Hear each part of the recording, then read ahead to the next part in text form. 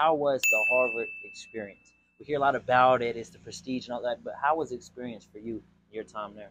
I would say it's definitely unique. You're you're not gonna really be able to emulate it other places, and I feel like every Ivy League has their own type of culture and different like environment.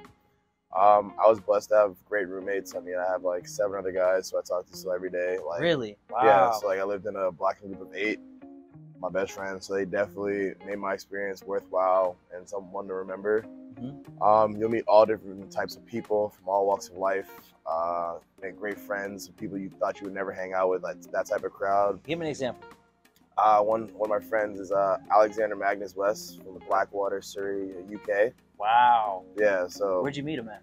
So I'm in a final club, the PSK, and he was in the class. A what club? It's called a final club. Okay. Uh, it's similar to like a fraternity. Okay. But I think like each Ivy League school has their own like uh, rendition of it, such as like yo, I think it's like Skull and Bones, something like that. Oh, okay, the, the, secret society. Yeah, I was yeah, actually yeah. because we have some too. I think they were exactly. like Quill and Dagger, and I, I ain't learned about it until I was almost up out of there. I'm like, what that talking about? They got their own little stuff, and it's on the low, and I'm like, oh, yeah, you really can't tell me. They're like, nah. Yeah. So okay, gotcha. So, so you okay? That's met, what's up. Met him. He was, I'm you. I would would never have thought I'd be like hanging out with someone like he's like a smaller British dude, but mm-hmm. hilarious. We got along really well I mean, just like a great time. So it's like you meet all these different people. Another example is a kid named Jeff Foster. Uh-huh.